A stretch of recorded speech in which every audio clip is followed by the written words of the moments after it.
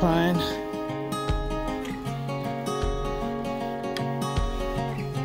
Nobody here. Lake all to ourselves. Hope there's fish. Not there should be some holdovers. Steering's a little tight, I think, from uh, from the salt last time. Washed it pretty good, but still pretty tight. All right, we'll see you guys later. See if we catch some fish.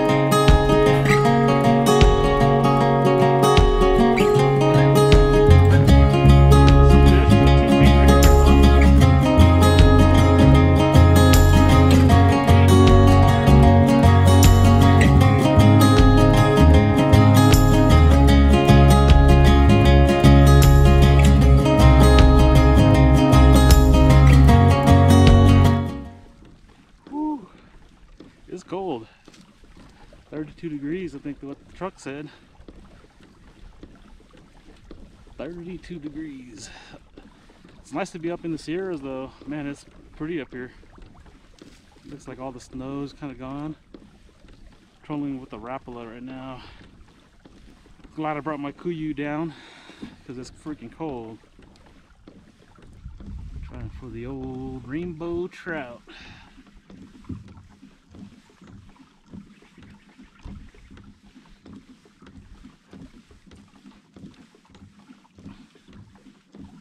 Got my sunglasses today, so it's gonna be a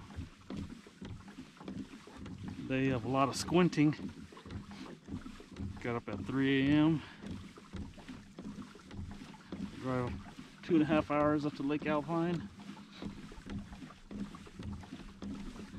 Yeah, you know what? I'm alright if I don't catch any fish today because, man, this is freaking awesome out here. Freaking nice.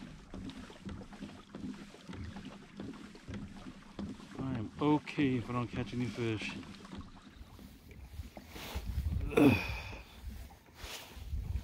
There's her. This brand new native.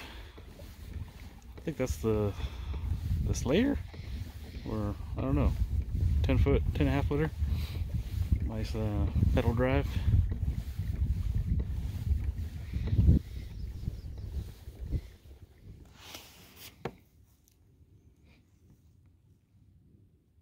The stability of the Outbacks. Skinny guys can stand up in it really well and cast. Fat guys, not so much. Let's get in that cove over there. We're jumping over there to see where the sunken log is. Yeah. Looks like where it's a little bit more, where there's less ripple. Looks like there's more bugs on the surface, so they're jumping more. Huh?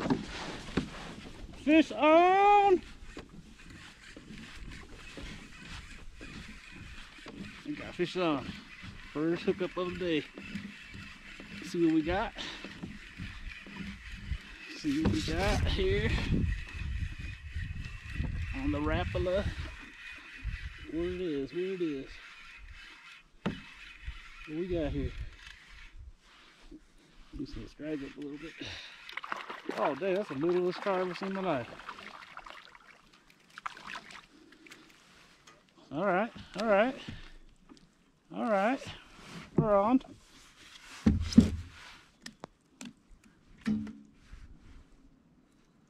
I don't know this is a little stocker or what. Good stuff, good stuff. We got some. First thing in the morning.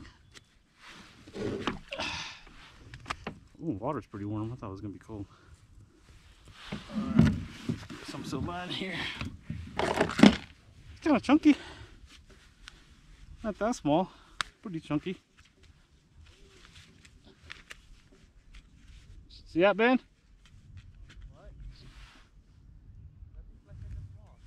No, it's pretty good. For rainbow. Little rainbow. Alright, take it for the first fish. Ain't gonna be skunked today. Alright. Got fish jumping all over the surface. Looks like they're starting to get up right now. Starting to worry there wasn't any fish in here, but I caught one already. And nice dusting. Nice dusting from last night. Ben and I did a hike up there, all the way in that ridge top, all the way around that mountain right there during deer season a couple years ago. Fish just jumped right in front of me. So they're on top. So the Rapala, if they want to go for the Rapala, they're hooking up on it. If they do. So, man, it's just beautiful this morning. Wouldn't want to be anywhere else.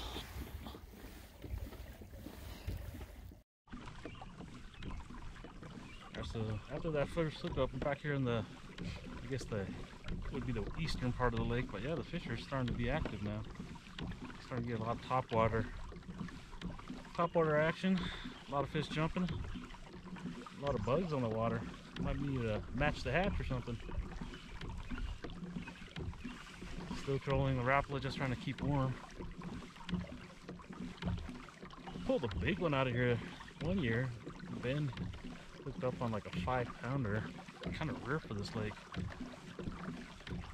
Usually we just get the little and stuff. There's some big ones every now and then, but yeah, five pounder was kind of unusual. But the lake is very full. Man, my steering is freaking just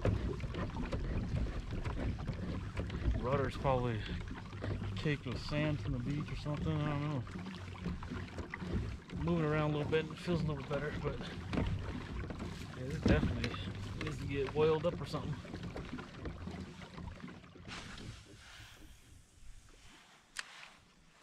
Alright, so we've stopped trolling now. A lot of fish jumping on the surface here, so see if we can get something to bite some lures. Silver and blue Kastmaster on my six foot Ray Cola. With my Shimano Stradic 1000. Four pound line, so see if we get something.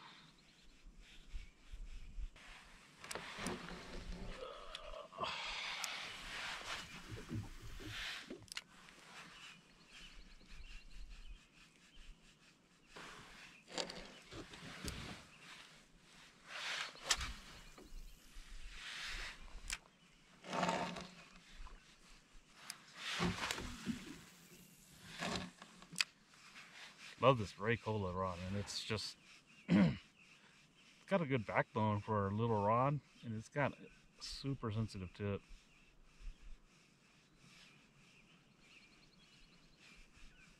Great little trout rod, crappie rod. I mean, there's just fish jumping all around me and in front of me. Maybe they don't want this Kastmaster.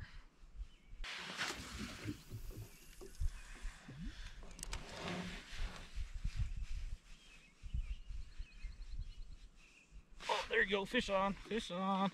Got him, got him. What did you say, they don't want the Kastmaster? Yeah. Let's see if we need a net. Nice. Little guy again, but hey, we're gonna go for all the little guys today. What's up? Oh, oh that little. Oh. Oh. Okay.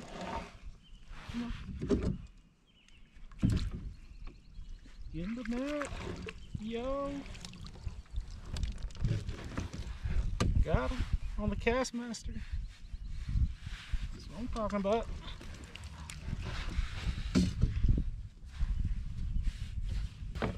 Uh, Leatherman.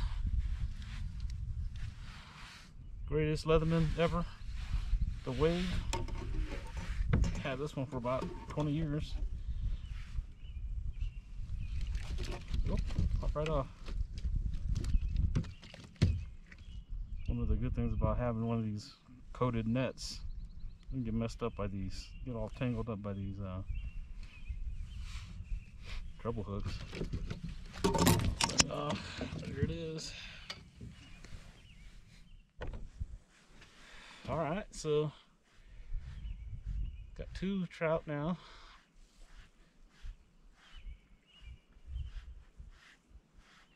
Jumping everywhere around me right now again.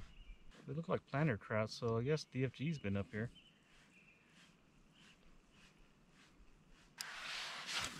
Something like a rooster tail or something like that might even help. Something a little bit slower. Oh, dang. Acrobat. Can jump right into my boat if you want. oh, yeah. They're jumping right now. Right over my lure. Let's see it. Get it. Come on. Oh, thought, thought that was a jump right by me.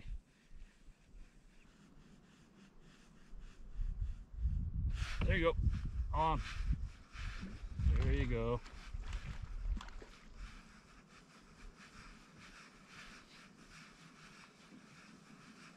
Yeah, at least the action's here. At least we got some action. There it is. Right, diggity. Woohoo! Nice one. Nice planter.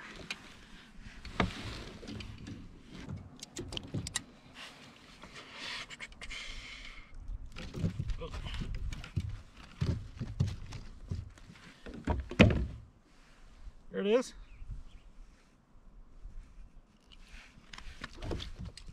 In the loop.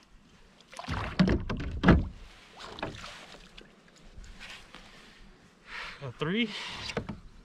Starts to get pretty uh, hot here. I might just start catching releasing a little bit here. Have some fun before I get my limit. And for those of you guys that are not aware of the regulations, you cannot catch and release after you've already caught a limit. So be wary of that. You see a lot of that on social media and stuff like that. Folks saying they've caught their limit and now they're just catching releasing. In California, that's a no-no. You want to catch and release while you do not have your limit yet. where Ben's at. Oh, there he is. That's why I like the colorful canoes or kayaks. Because right now I cannot see where hers at with his black native. And I can see Ben across the lake with his red. And I'm sure they can see me just well, just fine with my papaya. Or bright orange. It's just too far to come out for a couple days might as well come and camp. But because of COVID-19, there's no camping allowed yet. All the campgrounds are closed still because, you know, we tend to get COVID-19 when we camp away from people. Uh, when you camp, you usually camp with your family anyways, right? People that, if they already have COVID-19, you've got it already. Or if they don't, then, you know, the whole family's safe. But hey, I don't know, government logic. I know I work for the government, work in the Department of Make No Sense. Every now and then I back up for the, the Department of Redundancy. It's supposed to pick up today though. It's supposed to be up about 15, 20 though. So we can get off the water by then. Uh, moving away from that point where the fish are jumping wind's picked up a little bit on the main lake. Caught three fish. And because the wind picked up, kind of blew around all the insects and fish aren't moving on top of the water that much anymore. So 10, 15 feet down. Over here by the dam, just soaking some some bait, relaxing, getting a little snack. See if anything bites. Slow day. A lot of fish though. I don't know what's going on.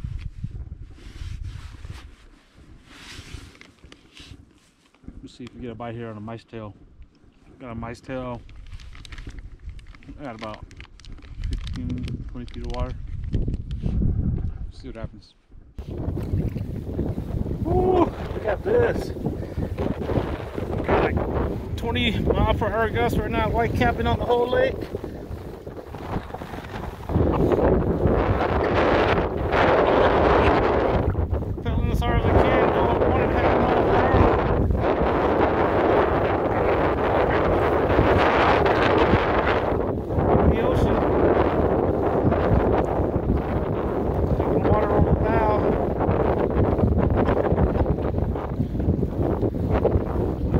out of here.